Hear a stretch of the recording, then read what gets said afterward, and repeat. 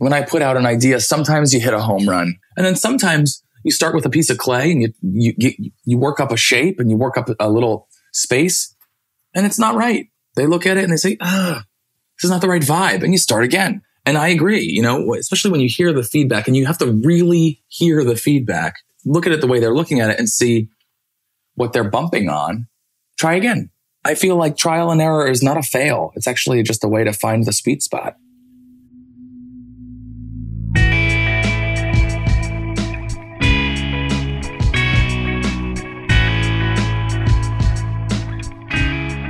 This is Love Your Work, and I'm David Kadavy. On this show, I explore the intersection between passion and profit so you can achieve your own unique definition of success. I'm going to go back to my roots as a designer with today's guest. James Pearse Connelly is an Emmy Award winning television set designer. He's designed sets for shows like Bill Nye Saves the World, Martha and Snoop's Potluck Dinner Party, yes, with Martha Stewart and Snoop Dogg, The Voice, and Top Chef. And I want to have James on the show to learn how it is that he does creativity on a large scale, literally with moving parts, an extremely unforgiving production schedule. And I figured that for James to do what he does, which is to express the feel of a show through architecture and through materials and fabrics and furniture, and to deliver all that on time, James must really know his creative process. And you can tell from this conversation that he really does even if you aren't a designer, chances are you work on creative projects all the time that have lots of unknowns in the beginning.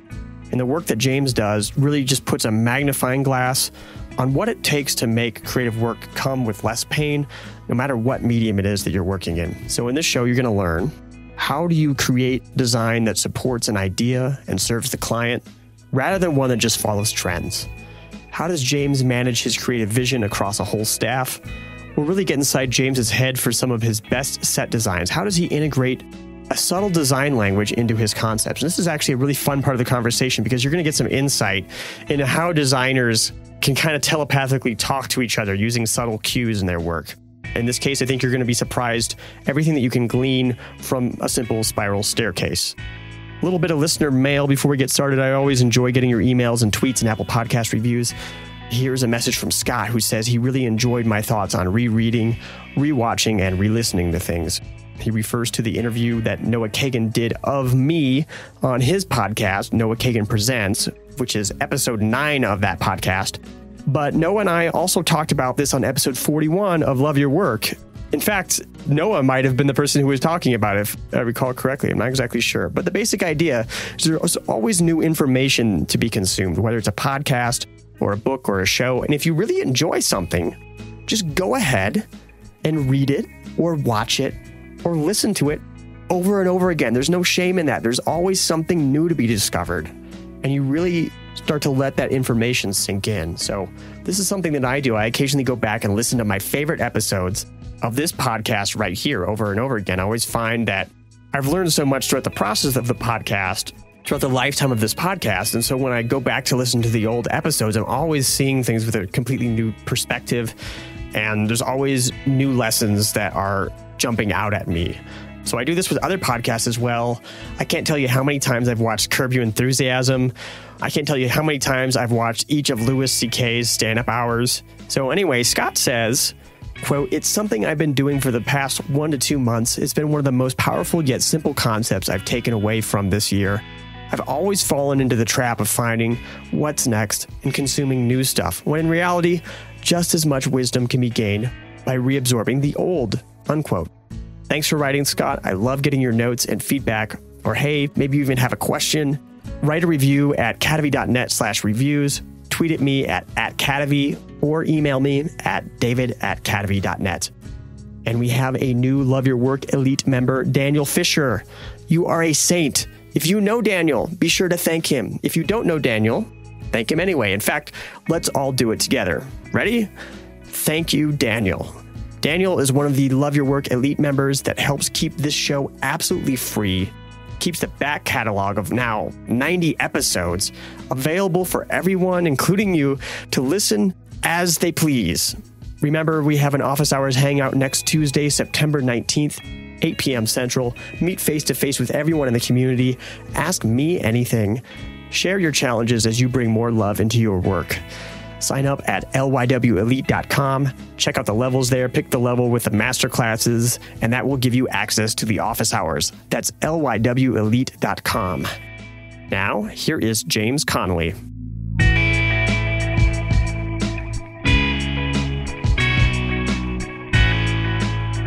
I'm here with James Connelly, and uh, James, you designed the set for Martha and Snoop's potluck dinner party. So I guess my first question is: Was designing for Martha Stewart like a little intimidating?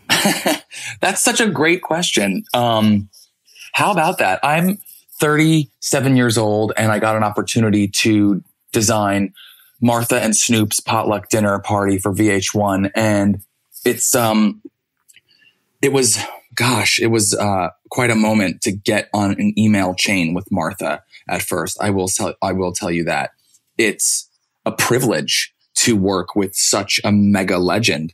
I was blown away. I, it was almost one of those um, experiences where it didn't matter how painful the process could have been. I was working for Martha Stewart. Like it was like nuts.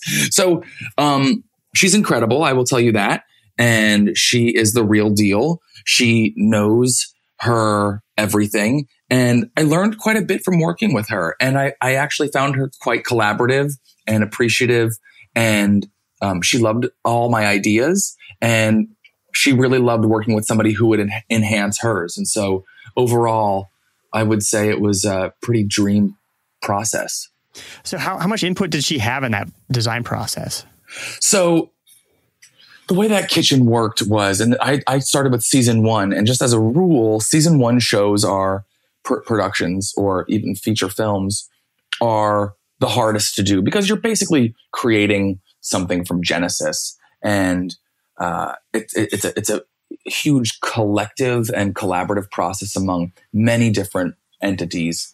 Um, in television, you have networks and executives and uh, creatives and myself, and as well as in this particular case, um, Martha Stewart and Snoop, which are huge global names, and um, and so there's a certain nervousness, and then their pre- their publicists, and then their agents, and then their representatives, and ultimately their brand. In Martha's case, she has a pretty big brand behind her, and so there's a lot of um, a lot of weighing in. So it was, to say the least, in, unbelievably collective and political. So, um, so yeah, I was basic. it was it was like kind of stepping into D Day there with a lot of bullets and different ideas being thrown at you. Um, I will say though, I just I just loved it. I, I I really thought it was an opportunity to learn from someone so great and so big. So uh, so yeah, I guess did that help answer? I'm not quite yeah, sure. Did you, uh, when, when you were in that process, did you find yourself at moments? Um, I mean, I could imagine working with somebody so huge like that that you might find moments where you are kind of holding back a little bit because you're afraid of messing up, um, and you have to kind of remind yourself like, oh wait, no, I, that this is this is my job. I've got to push forward and and and make this the best that I can, and I can't become intimidated. It's interesting. have moments like that. Well, for sure. I mean, so many moments, honestly, in all these season one productions. We're working on one, one right now for NBC, and it's similar in terms of there is a certain amount of bravery that you need to have. i am learning and confidence um, in not just your decisions, but confidence in order to kind of like be, make yourself open to other ones and, uh, ambidextrous or flexible enough to develop. I have noticed that there is, um, less of a strain on maintaining a certain concept, um, as, as, as hard as it is to keep yourself flexible enough to take in new ideas, even last minute that um, can basically alter and change an original thought, but ultimately, when you take a step back, uh, makes it better. And so, um, was there um, a specific example of that when something kind of came in last minute and you you felt like for a moment like oh that kind of threw me off track, but I've got to make it work.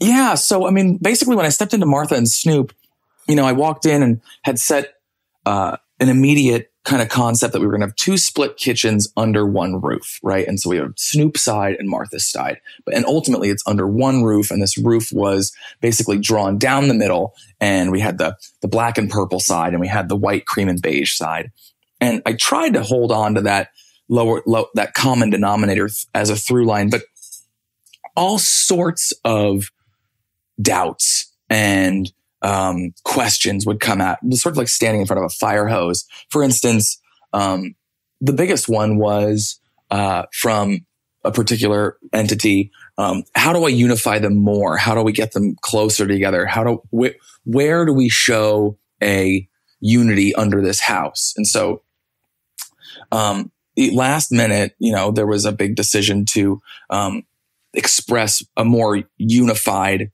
uh, home not just under the shape of this gable roof. And so, you know, it, it's a challenge ultimately. And as a designer, I'm here to really fix any challenge or meet any challenge by fixing and providing a solution and ultimately in the most uh, beautiful way. So it was, um, my idea to unify the flooring, but maybe use two different subtle, um, tones of, of wood woven together, um, to find that middle ground. And so the planked hardwood flooring is patterned in the herringbone.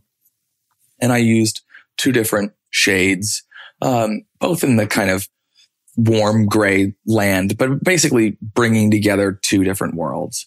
So, you know, ultimately everybody felt really happy and confident with that. And it is a nice texture, uh, in the show that kind of brings it together. It's nice. If you look at that set, it is eh, kind of divided down the middle. With the Snoop side is like you said, is kind of like a, I don't know if I'm getting this right, like a purple, and there's uh, a car grill on the front of it, and then Martha's side is uh, softer colors, and it has uh, some copper cookware uh, uh, on the front of the. Um, the the counter islands, and so you use the floor pattern pattern then to to to unify yeah. by having two different colors that were I did uh, hatched together. Yeah, okay. I did. I used the flooring on, below them because the surfaces were treated very contrast. This is strict um, Snoop Dogg palette. This is we're going to use a black glass tile. We're going to use a lot of uh, high gloss purple. We're going to use a lot of uh, antique gold finishings. And over here with Martha, we're going to use a lot of uh, white shiplap, a white subway tile with a gray grout. We're going to use a faux bois wallpaper with a gray on white. There's a definitively their tastes. And then there was this challenge of brought to me like, well, it's, it, it's, it's two side by side. How do we unify? So we use the flooring. So typically at what stage of a production, say a season one production, do you typically come in? Hmm. It varies across the board on every single one, but ultimately it's in my line of work, which I love, is I'm I'm often brought in way before the executive producers, basically within show development, and, and in fact, um, I'm also involved with many shows even before they're sold. So developing shows in its kind of fetus stage, I guess, where a network is coming up with an idea or an executive producer is coming up with an idea. They contact me and I develop the environment for them because, and ultimately here's the reason why I exist in the variety world. And so variety television is basically boiled down to award shows, game shows, reality shows, competition shows, things with big expressive environments or things that are documenting human nature ultimately. And to me, as I explain this, is production design then turns into the script. And so I'm brought in to create an environment which ultimately has to affect human behavior really early, well before the director, and oftentimes way before many producers. And so with uh, project I'm working on right now with NBC, um, I was brought in, December and we're shooting in uh, September. And I was brought in before several showrunners and directors just to establish a look. And I think that that's important in order to find um, the overall tone and mood of each production. So, um, it's helpful for me to get into it, get ahead and establish, you know, uh, establish what the show is about. And, um, and then it's what the, the stressful part is, is as other people start to enter the process, you basically have to just keep, you know, your water legs there going. Yeah, exactly. Is that how it worked for you that early in the process with, say, uh, Bill Nye Saves the World, the Netflix series? I was brought in early on. I um, pencil sketched out some early concepts. I was What did they say to you when they when they brought you on? For like the first thing, like what was this? Where's the stage the idea was was at at that point? they wanted what was unique about the Netflix project was they wanted my artistic concept. They didn't want to they just wanted to know what my vision was early. And so I came in with a strong vision and we kind of stayed with that and just adjusted to uh, the needs of the production and, you know, how to best um, shoot it. But ultimately I, I went in and they, they basically said, so um, we're going to, we're going to do a talk show with Bill Nye, but we don't want it to be a talk show, talk show. So, um, w- what do you think? Bring us some ideas. And so I did. I penciled out a couple of ideas and actually found up, wound up um, falling in love with Bill's uh, deep passion for swing dancing, and um, started off there. Now, there probably aren't necessarily to the naked eye literal swing dance references, but you know, in some, in some surfaces and, and the overall shape of the stage, um, we basically maintained a lot of the old original concept. There's there's now a huge laboratory, um, modern in structure and pretty uh, pretty relative to modern day and functional laboratories. But ultimately, that was his dance floor and where he would perform. And that's really what he's doing. Is, is he's sort of uh, off into the middle, doing science experiments and performing uh, to the audience. And then when he steps off the dance floor, he's intimately engaging with the audience right there in front of him. So they're saying we want a show with Bill Nye. And so it was at least part of your input of okay, we're going to have this big. It's almost like a like a cell, uh, like a cell, like on a like like biology cell, uh, where, where that is his laboratory. He does experiments inside the laboratory to. Uh, demonstrate certain things and then a screen drops down in the front for maybe video that comes from one of his correspondents that is traveling or something like that and then there's the table that's off on the front of the stage where he'll bring in a panel of experts and uh, i mean was all of that how much how much of that was uh, your input Oh, sure. Yeah. So, I mean, I ask a lot of questions as a designer, right? And I kind of um, turn into a shepherd of sorts. Um, so, oh, James, we're going to do a show with Bill Nye. What should it look like? Well, the follow up question is, is what is Bill going to do? Oh, well, you know, he'll do some science experiments and then he'll probably sit and chat with um, someone who's probably been out in the field or, a, you know, an expert of some sort. and then- this is who telling you this this is the executive producer or uh, this is the this was at, for this project. This was the network and executive producer, gotcha um, and it's all very very loose. You know, we want them to sit down with a panel of experts. We want to sit. We want them to sit down with uh, a one-on-one expert. We want him. We want him to engage with a small audience. We want him to do a lot of science. So that's what we're thinking right now. But again, they know and they don't know. I definitely think that networks and uh, executive producers who are involved in the early concepts of each production are really ultimately the visionaries with no vision. And so they have a very specific idea in their head, but they don't know how it looks. And so to me, that's easy. You know, they, they, they- basically want three, uh, three areas. And then the follow up question is, is, okay, do we need to have some sort of screen or something to show the audience things? Like, do we need anything uh, like a, a playback is what they call it. So we need any any space for playback, so we can roll a clip. Oh yeah, yeah, we probably should have that. We definitely want that. Okay, great. Well, we'll I'll, I'll, I'll think of something there. And so then from there, I've got like somewhat marching orders in order areas that I need to accommodate and how. It sounds like the. I mean, it it actually sounds kind of like the attributes of a nightmare client that would come to you and say, "Uh, in, in a way, it's like I, I'll know it when I see it, but it just you just happen to be working with people who I imagine have a, a, good feel for this kind of thing. Is that accurate to you? Yes. Well, I wouldn't say every client is a dream, first and foremost, but I will say that I'm not a salesman. I, I really am. I'm not. I, I speak visually.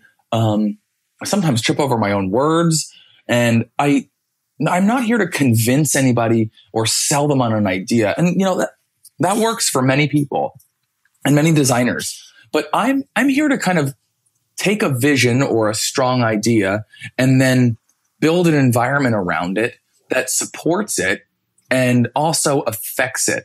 And so what I might do, I'm very open to, it may not be always right, you know? So I, I like to start big and work down to this granular level. And when I put out an idea, sometimes you hit a home run.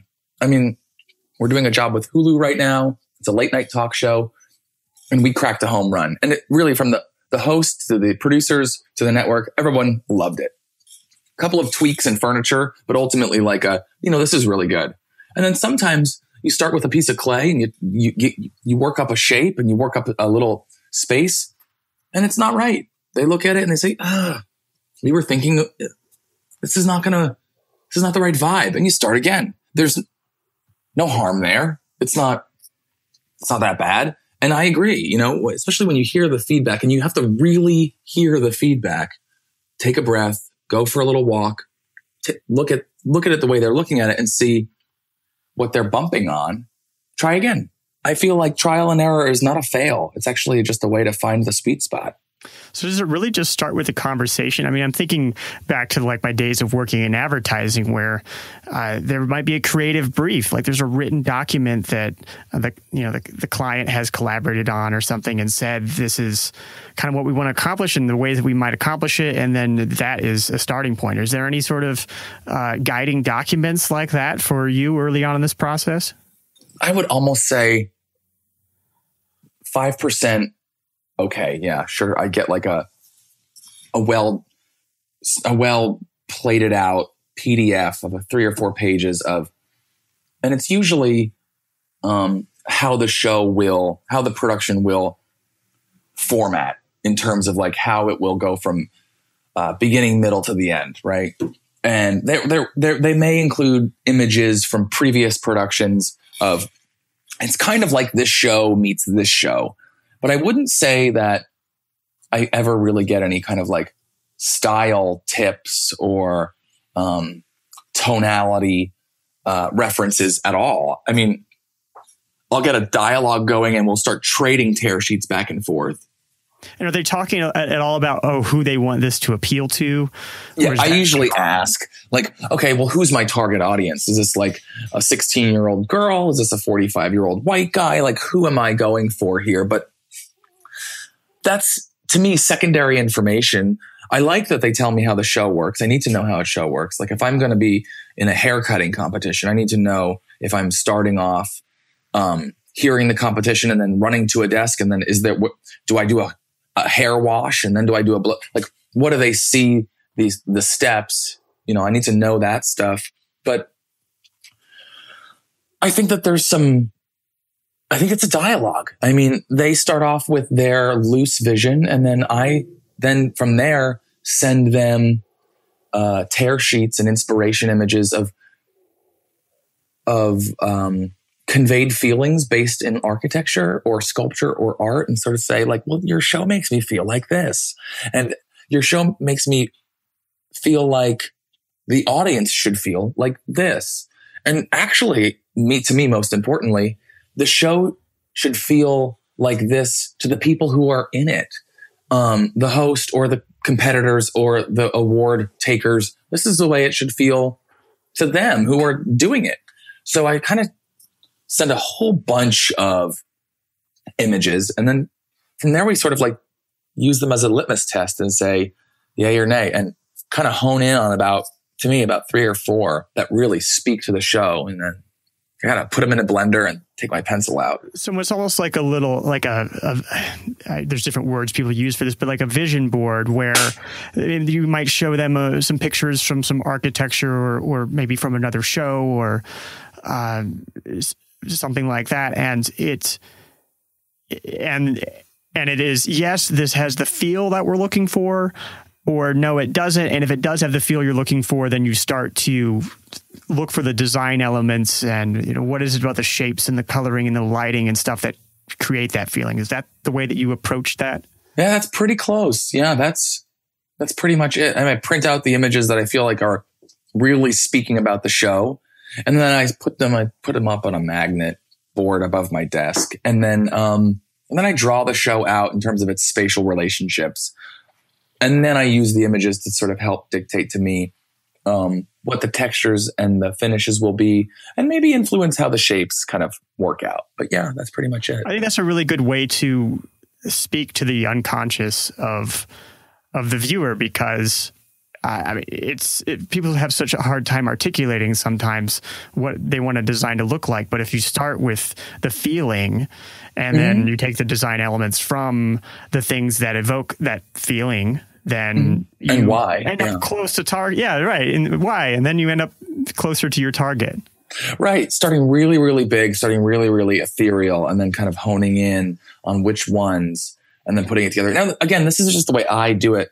Many designers um, will put their point of view straightforward. And they're hired because they do this specific point of view that is quite beautiful and, um, and, and, and, and on trend, if you will, if you will, just for lack of a better expression. But, uh, I don't really know if necessarily if I believe that. I kind of feel like every project I work on should be unique to each other. And inherently, my taste will contaminate each, each one. But I think that each one needs to have its own identity and its organism and whatever it is. Um, and so it's important for me to s- discover that in these early stages. Yeah, the voice and mm-hmm. uh, Martha and Snoop's potluck and Bill Nye. I mean, they all look totally different. I wouldn't guess that they were. Created Oh, thank God that I've done a good job. Thanks. Yeah. So it sounds like you're you're you're going from the root of what they're trying to to evoke. And I hope. I mean, you know, ultimately, it's like if people enjoy it and if it looks good, uh, then you kind of win. I guess. You know, I don't. I don't know. What about camera movement? Movement I, on Bill Nye Saves the World. I, you know, I don't. I don't have as much experience looking at uh, set designs as you do, but there's so much the depth of the camera movement. He's he's in this giant cell, as I call it, the mm-hmm. laboratory, mm-hmm. and he's way way back, and the camera is so far away. But then he move, he moves forward um, for other parts of the show. How much is that camera movement? How much input do you have on that, or, or uh, where oh, does sure. that come from? In most of the sets that I do, um, I kind of think about camera movement uh, secondarily. And I like to create a space that is utterly uh, immersive. And so I will use cameras um, because I mean, like, listen, like cameras now um, can do anything. You can put a camera on anything. And so you can get a GoPro to fit on anything. You can move around with somebody. You can take a big sweeping shot. I mean, heck, you can even almost use a drone anywhere now. And so it's more important for me to build the environment first and then work with the director on how to create really fluid, beautiful camera moves that help tell this story. There was a large discussion with Bill to get into the dance floor, the lab, and then come out. And how are we going to do that all the time, in and out? And what did it feel like when he was in the lab? And what did it feel like when he was out of the lab? And we wanted that definition between uh, both worlds. And so when, when he was in the lab, you almost wanted him to feel alone with you as the viewer at home. And then when he got out of the lab, you wanted him to feel relatable to the audience right there, touching tangibly um, and engaging with them. And so we used the Technocrane and we used the Steadicam and we used different cameras uh, to get deep into the space and then to pull out with Bill. And that tracking motion with Bill was important. So. So it starts with working with a producer, getting that feel down. Um, maybe there's a couple renderings or something uh, done at that point, getting the the samples of what the the design vocabulary, and then you start working with the director, and that's when things like camera movement come into play. Is that about right? Yes, it's about right. And there's a there's um it's actually a reverse thinking traditionally. And so oftentimes I'm, you know, I'm the young guy now in Hollywood. So oftentimes some of the first meetings people will say to me, well, where are the cameras going to go? And I kind of say, guys, stop, stop right there. We will figure that out. Let's get the, let's get the space right. If I need to move three people over or get rid of some audience members here or there or cut a wall in half to put a camera in, that's what we'll do on the next pass. But right now, it's just about establishing what this world is all about. And so if you can get if you if you can get everybody on the same page with that, then fixing the camera angles is easy. Was was that a notable a notably different thing that the uh, Bill Nye set was so deep, like I was talking about? I really wanted to create a space that was like visually enriching and vast and real. And I think that when you're in real spaces, um, you get an appreciation of height, uh, especially spaces of um, academia and knowledge. Um, and the title of the show is Bill Nye Saves the World. Like there's a global discussion here of in all sorts of different topics. And ultimately, what Bill's going to do is touch each single one. And there's so many, like it's vast. And I want that to feel real. And when you go to a big library or a laboratory or something like that, generally as a person uh, who doesn't go into those things often, kind of say, wow. And so when we boil that down to this word, wow, you know, it needed to be big and rich. And so Bill's world needed to have an incredible amount of depth. And so when you start expanding his background further and further back photographically, the camera will see the tops of things. And so you make the heights a little bit bigger and then suddenly you have a big space. But ultimately it's because, um, you watched it and it, it, it, it, it was on purpose that you saw something that said, whoa, holy cow, that's, that's, uh, it's quite a space. Oh, right. Yeah, yeah. absolutely. Uh, what about the design language? I, I, guess some of the things that I'm seeing where there are these hexagonal uh, ceiling tiles, hexagonal tiles on the front, uh, in front of the uh, laboratory. Inside the laboratory, there are. It's, it's just the shiniest floor. It looks like it's like not even real uh, with these dots on it. Are are these? And I and I see the. Um, the spiral staircase reminds me of like a DNA double helix. Are these are these uh, are you intentionally speaking to uh, uh, honeycomb structures and double helixes, or is that me uh, ascribing intentions where where they aren't? Oh yeah, and yes, yes to all. you know, when you're in design meetings, you hear certain things, and you get a lot of feedback from your visionary client. And so uh, at one point, somebody had said somebody somebody had said something like a beehive of science, and you know that stuck out with me. And how do you, how do you create that in this lab? A beehive of science. But, so then, is the shape of the lab actually uh, hexagonal? Is it like beehive? Or I, I, was thinking of it as like a cell of. Uh, of a plant or something. It is a big hexagon elongated, and there the, the, there is a repeated hexagon shape. The the hexagon has a, an incredible amount of geometry attached to it when you research this shape. It's really a unique. Uh, it's really a unique shape, and just because this show has been is further away from me, I couldn't describe it so detailed. However, it's one of the most um, it's one of the strongest shapes and self-sustaining in terms of like if you were actually physically to build a hexagon. Uh, it's like the triangle. Like it really is a very strong um, shape. So I started. I kind of started with that a little bit. Um, I specifically chose a circular stair to be behind uh, Bill on center line for the direct reference um, at, to the double helix. I mean, it's it looks oh, wow. just like a double helix. It's the perfect piece of architecture, and it really is beautiful um, as its own little piece. And so when you're watching Bill and you have a spiral staircase behind him, um, it just sort of, sort of seems right, doesn't it? You know. Mm-hmm. So, uh, and in fact, it was Bill who pointed out to me that it's not actually a spiral. Um, a spiral tapers up or tapers um, in its diameter as it moves all the way up. A circular stair um, doesn't taper. And so, uh, you know, you learn something all the time. Well, and I, I, mean, a spiral staircase has has a straight axis, right? So a double helix would have like these two winding axes, wouldn't it? Oh yeah, it's, it's definitely not a, like that. It's definitely not a helix, um, but it's a relatable piece of architecture that you would be in a lab all the time. Yeah. If it was a literal helix, it would be too much. Oh yeah, I mean, you couldn't get in. Um, I mean, I see it because I'm a designer, but I think the audience probably just in their subconscious, they you know they they get the reference, but consciously they're probably not getting the reference. But that's what not makes, that's what makes good design. And I think that it makes good design so that you walk the line of subtlety and you still support. I mean, I, I really did start off with the circular stair. It was a strong idea. I felt like this is really good. I need to include this. This needs to be direct in his background. This is science, really, um, and it's a scientific shape.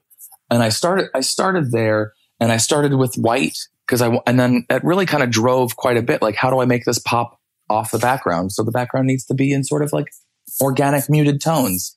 And it just so happens that it was, well, we explored different types of brick, but um, it just so happens that it was brick, red brick, and then how it related to the contrasting worlds of uh, acad- traditional academia in this large library type structure, and then the contrasting cold, sort of artificial, um, uh, clean laboratory space. And so, but ultimately, it was this white circular stair that was this keystone. And you do so much work. Uh, if I look at your IMDb page, it's just it's an overwhelming amount of amount of work. And but you have a staff right? Uh, that you've built. Uh, yeah. I imagine that to um, to do this much work and still have you know your signature to it, you have to really know your process well. Is that accurate? That's and- accurate. You're good. You are good. Um, you got it. That's exactly it. I love what I do and I love particular parts of the process. And I don't I get so I get so like it's a sickness. I get so excited about new things and new ways to create uh, when you're first talking about a project that I get addicted almost. Um, and and after doing cert- so many uh, one after the other, some parts of the process can be um, polished. You know, in terms of like how to build a budget, how to create uh, something from pencil sketch into construction drawings. And so just by wash, rinse, repeat, I've been developing. So, uh, you know, it started off as, as an assistant. Um, hey, I, I know where that store is. I know exactly what I want. Please go buy it. Something of that level to, gosh, yeah, now we have a office in Valley Village here in Los Angeles and it's 2,500 square feet. And I have six people on staff and then three or four permalancers and it is a it's an operation as opposed to a process. And it's just it's just by osmosis that it's developed. So when you were first starting out i mean that was a great detail of like oh i know where that store is where we can get that couch or or whatever yeah. that we need. I mean knowing these knowing those little details if you don't have the staff to start with um, and you don't know where the store is, and that can really slow you down. Yeah. Um, how, how, did your, I, you know, I imagine when you were first starting out, it took a while to, to establish that process. How did that happen? Um, well, every time, you know, you learn something new. And so I always would take a post-mortem look after the project was over and self-analyze in, internally and also then talk to um, the assistant at the time or the client at the time or whoever and say, how did that go? You know, like how, what could we do better? But I think it's also being a student of your own work and being a crazy perfectionist that I look back at projects. It's, it's, David, it's so hard to look back at old stuff because all you do is see mistakes, you know, and even on Bill and, and, and the voice in its early seasons. And they're just hard things to see.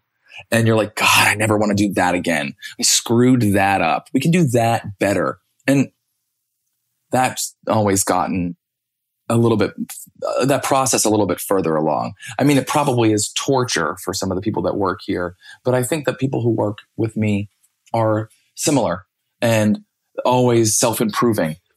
And it takes a certain personality, I guess, you know? When you do that post mortem, are you writing in a notebook? Or are you just sitting and thinking with your favorite drink? How, how do you do that? um, sometimes now we all sit together in uh, around a table and we talk it out. We generally, we have gotten, um, you know, we have written things down on a notepad and saved it to a folder and put it into a, a, you know, the Dropbox folder for the overall project and put it away. But you know what? I have never looked back ever on these things. Usually, um, just talking it out has, I don't even know. It really has helped, you know? And sometimes you have to make the same mistake three or four times before you're like, I'm never, I'm never going to do that again. Um, yeah. I don't know. These are not mistakes in terms of like, um, you know, huge tragedies because the nature of my business is service to fix problems in a beautiful way for camera work. You know, so I, I, am here to fix things basically and create things that make a situation, which is a problem. So, you know, it's not terrible, but, um, but yeah, sitting and talking about it and just being humble enough to, um, to make yourself better is, is how, how it was, how it's been done. Have you gotten to the point where you have kind of like formal names for phases of the projects? Yeah, there are two. Um, I, you know, sure, there's the design process, there's a development process, then there's the design process.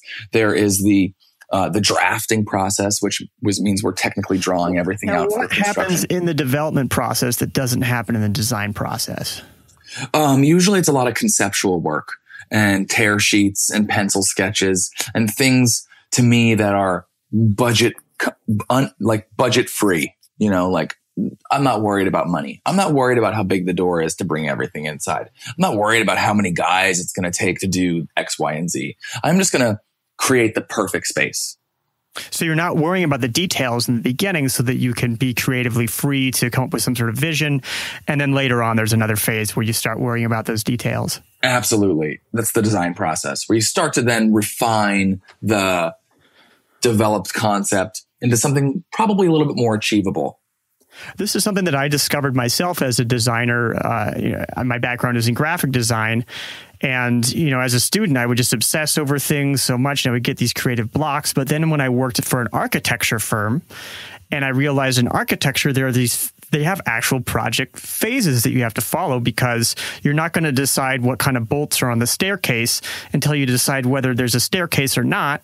And there's, you know, like there's, the creative process works that way, but in something like architecture, I think in, in what you do as well, there's there's the the restrictions of kind of budget and of physically making things that hold you that help control the process so you aren't worrying about those details too early in the process. Is that anything that you've learned or observed over your career?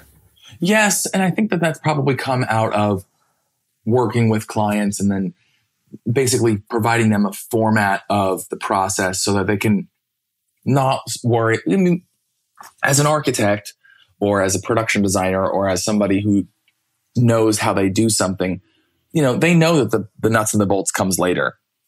But as you're walking somebody through that who's new to that process, or even like a junior employee, it's good to label those things. And so I could probably actually could probably wind up doing that internally. We do that on some of the larger projects.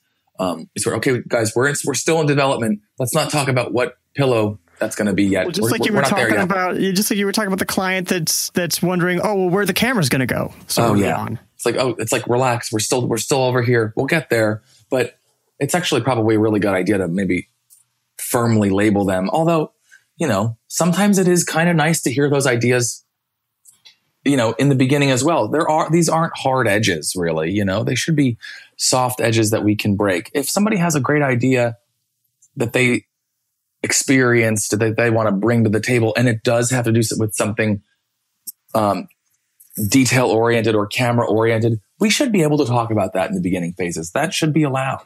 Well, yeah, and, and, maybe maybe sometimes there's a tile sample or a fabric sample or something that you just love, and you're like, I got to use this in some project at some time, and you're kind of thinking about it early on in the process, um, but it's not not to a point that it's preventing you from moving forward in the creative process. Is that right? Right, exactly. It shouldn't be an excuse to stop some sort of creative journey. I it's completely like agree. Be held idea. Yeah, yeah. It should be used as um, constructive, positive uh, development. Oh, this tile could be the inspiration for the entire space we're going to create, and that's something that we should talk about. Not, you know, where is that going to go? Oh, I don't know yet. And since you have your process pretty well developed now. I imagine. I mean, do you find that you get creatively stuck less often than you did earlier on in your career? Hmm. I or don't do you get creatively stuck.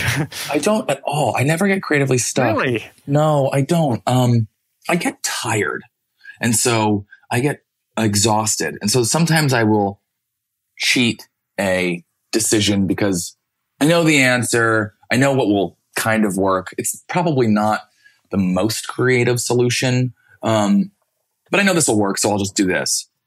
And so I can fall into, in, in exhaustion, I can fall into ruts, uh, quick ones, but I don't get stuck ever. I think that, no, I mean, if you actually take the time to sit down and think about something, there are a billion different things to do. I, I give them away. I mean, take it. I, I don't want to see old crap. Throw it away. It's just old. You know, here's an idea. Oh, you don't like it? Great. Let's think of another one. I don't, I don't get stuck. I do find the need though to take a break.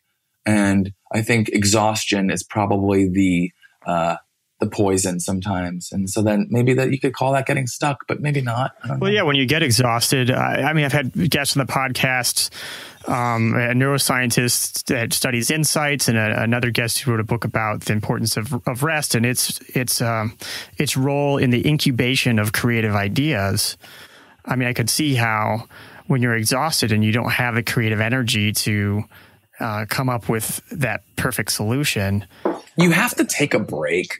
You really do. I mean, I know it sounds, you know, maybe lazy, it's not, well, not at all. you have to get out of the studio, walk away from the painting, stop what you're doing, go experiencing some, go experience something new. If that means, you know, partying with a huge group of your friends or experiencing uh, a new museum or traveling to some place with your partner or by yourself or going to the, like whatever it is to become inspired by anything will come back, bring it back to your own work. I mean, just recently, I went through a terrible breakup um, in March and I was exhausted. It was tough. It was one of those like divorce things with paperwork and money. And I was in the middle of many, many projects at the time, some in design, some being installed. And it was tiring, you know, it was really rough. And I took, I, I don't usually do this, but I booked a trip to see some family in Charleston, South Carolina, and I just left. And you know, obviously touching base with my office here and there to make sure that wheels were still in motion. And it was around the Fourth of July, and I can't tell you, David, how much inspiration and um, new ideas that brought back to my work. It was like I bu- took a giant bucket with me to like the idea well and like dunked it in and brought it back. And I really um, made me feel uh, or not feel really re- reiterated or stressed the importance of what that can do to projects. I mean, I came back to this thing that I was sort of midstream on and threw it all away and said, and told the producers, I said, I just got back from Charleston. Th- this architecture that they're building right now is really something we should look at. Look at some of these details here. Look at some of these um, finishes here. Look at how they've shaped out this space here.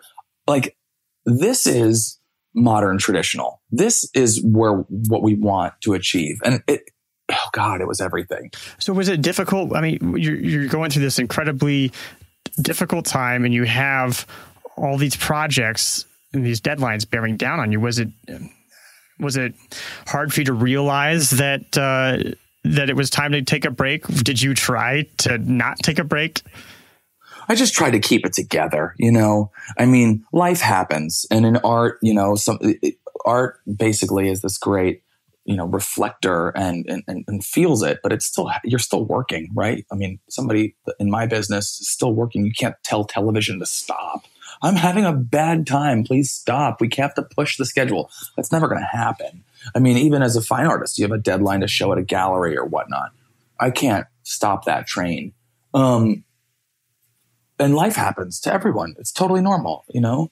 Uh, it was tiring. I think it was exhausting. It, it was great to have the art to lean on to get out of your head from nine to five or whatever our hours are, 8.30 to six or whatever. Um, and then, you know, at the end of the day, I would spend more time on the art so I could continually escape. It was nice to then put those feelings into the art, make some pieces a little bit more, I don't know, whatever I was feeling at the moment.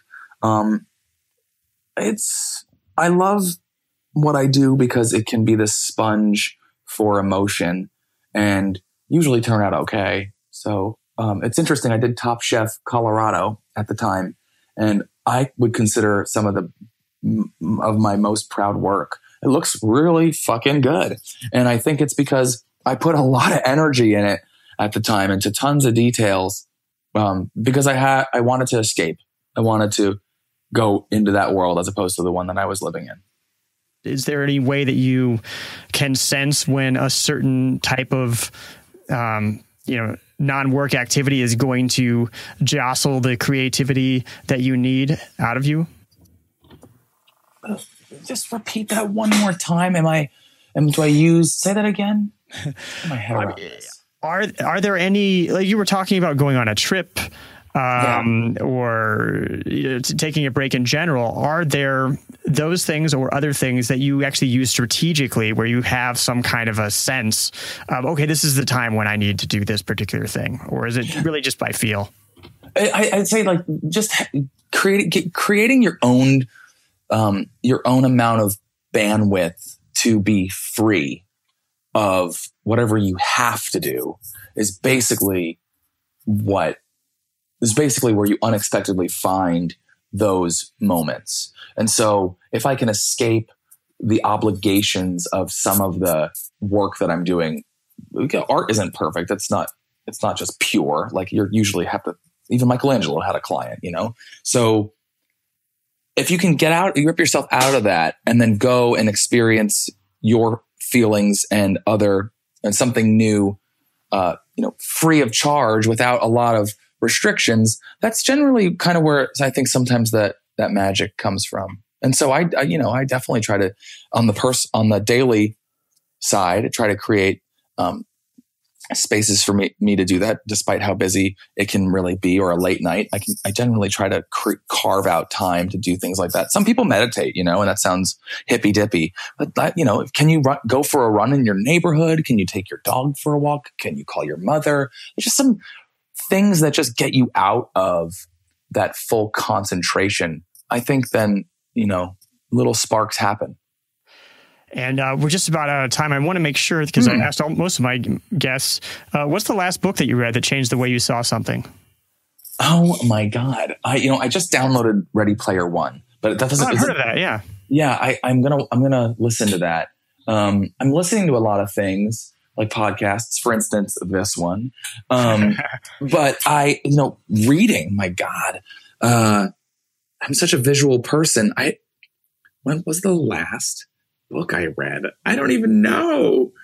Um, no, you're more in the audio realm. You're more. Uh... I'm audio fixed, and I'm visually just addicted. Does that fit your lifestyle in a certain way? Like, I mean, one of the reasons I love this, I love having this podcast is because I have to do a lot of cooking, you know, because I've got like a, a, certain diet I follow and stuff. And so, and, or, or from like the gym, I can listen to podcasts and I'm doing work basically, um, researching or re listening to an interview to find the, the nuggets and stuff. Is there some way that audio fits your lifestyle better?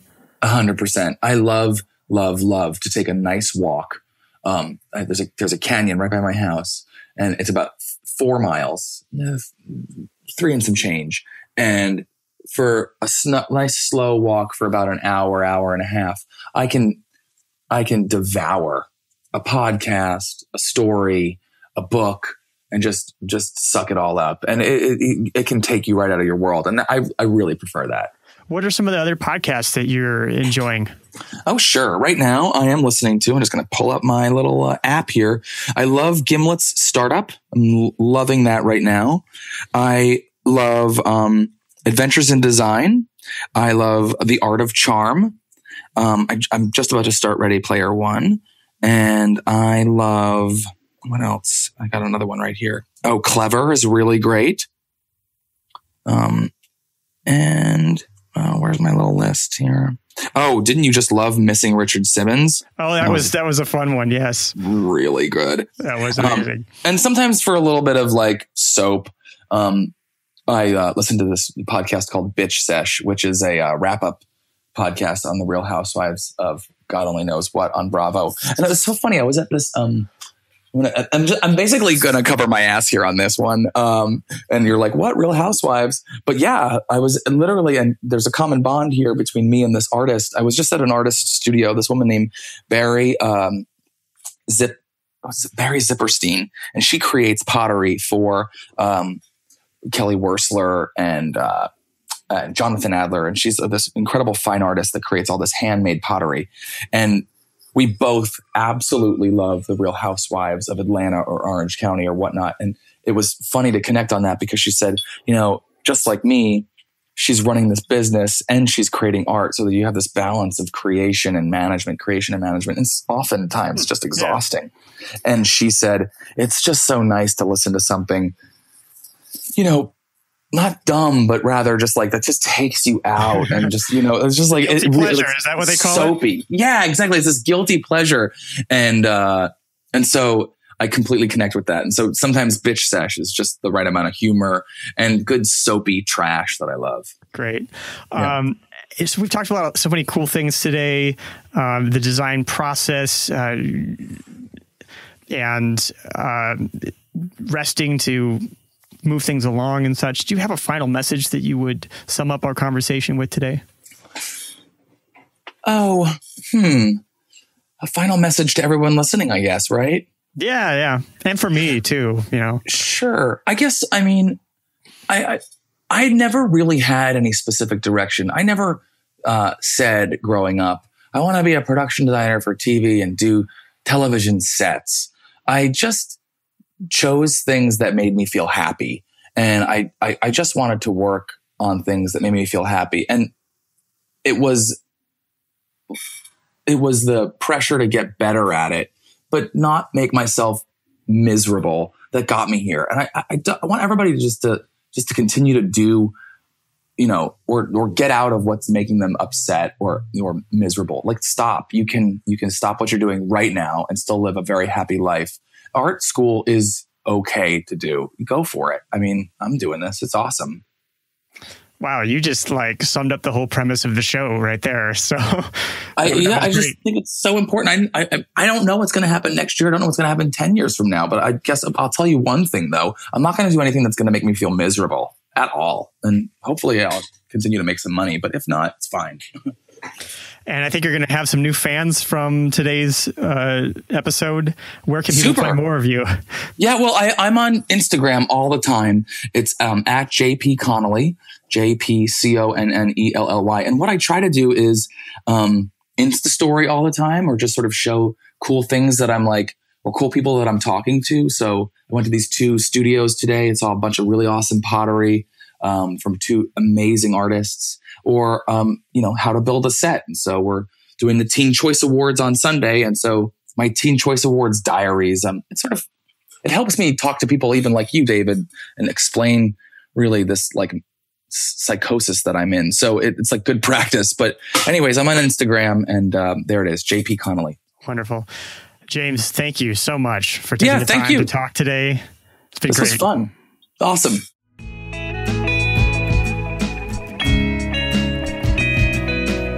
Hope you enjoyed that conversation with James Connelly. Be sure to see his work in action on The Voice, on Martha and Snoop's potluck dinner party, or on the Netflix original Bill Nye Saves the World. James talked about the importance of disconnecting to avoid getting creatively stuck. There's actually science to back that up. Listen to John Kounios on episode 8. John is a neuroscientist who studies the nature of creative insights. Sleep is not doing nothing. Sleep is mental work. Sleep is creative work. Your brain is churning over memories. It's clearing out the mental cobwebs. It's generating ideas. Sleep is itself work. So if a person's trying to solve a problem and they take a nap to sleep on it, that's not not working on the problem. That is working on the problem. Again, John is on episode eight. James also talked about the importance of doing postmortems for continuous improvement. This is something Noah Kagan talked about on his first appearance on the show, episode 41. The compounded return compounded returns is one of the most amazing things, but the compounded return of the knowledge that will then exist forever is just going to produce like dividends beyond your dreams. Again, Noah is on episode 41. I work hard to help you crack the code on fulfilling work. If Love Your Work is helping you, there are some ways you can help support the show and make it even better. One is to subscribe, subscribe, subscribe, subscribe. This is especially effective on Apple Podcasts or iTunes because it boosts rankings and helps others find the show. I know many of you listen on Overcast because you're the early adopter types. So even if you don't listen on Apple Podcasts or iTunes, please subscribe there anyway. Subscribe in your iPhone, your iPad, your Apple TV, your computer. The more devices, the better. It really helps. Apple Podcast ratings help too. Just go to kadavy.net slash Apple, click on write a review, and click on the star rating. You don't even have to write a review. It just takes a couple seconds. You can also join Love Your Work Elite. You'll get access to episodes before everyone else. You could even get ad free interviews weeks in advance, and you can get your name or business mentioned in the credits of the show. For details, go to lywelite.com. That's lywelite.com. Love Your Work is brought to you in part by top Love Your Work elite members such as Arif Akhtar. This has been Love Your Work, and I'm David Kadavy. The theme music for the show is More Streets, performed by Spiderflower. Love Your Work is a production of Kadavy Inc.